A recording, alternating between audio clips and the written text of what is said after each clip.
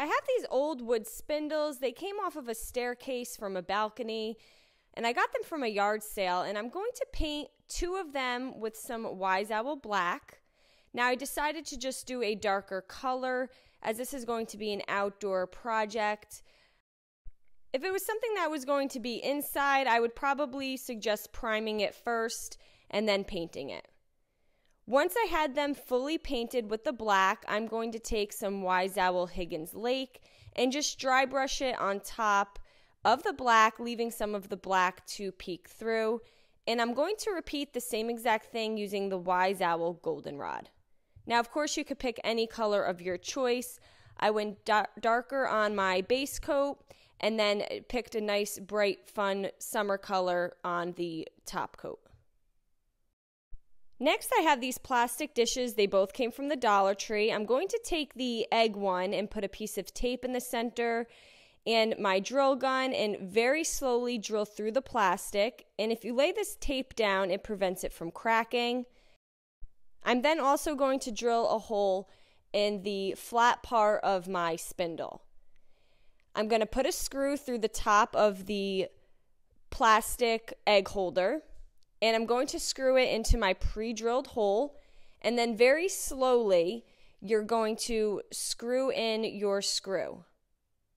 Now, you don't want to tighten it too much as you will crack the plastic, but you just want to tighten it enough so that it doesn't fall off. I have this rub on transfer, it came from the Dollar Tree as well, and I'm going to put it on my plastic bowl. Now, if you have a glass bowl, that would work too even a glass base, but I'm working with what I have and I think it worked just fine. You're going to rub the transfer onto the plastic. And I love this pattern. They have a variety of different rub on transfers that you could find in the sticker section at the Dollar Tree. And I'm just going to piece the transfer on the bowl, just filling in any areas that were empty or bare.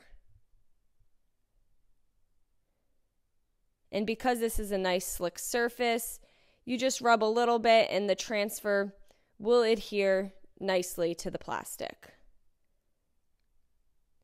I'm going to take some super glue and put it on the bottom of my bowl. And then I also have a little bit of hot glue for that instant hold. And I'm going to glue that on top of my egg holder in the center. And I'm going to set that aside for now. Now, for my second spindle, I'm going to paint this birdhouse black. It had some pre printed images so you could color it in. So I just painted the entire thing black. And then uh, once that's dry, I'm going to paint on top of it with the Wise Owl Ivory. Now, the point in doing the black underneath is again just to cover up that pre printed image nicely and I want it mostly to be the ivory color, but I am okay with some of that black peeking through. Once that is fully dry, I'm going to take some Wise Owl 1 Hour Enamel Clear and top coat my birdhouse. I just want a nice top coat on this prior to my next step, and you want to make sure all the paint is fully dry.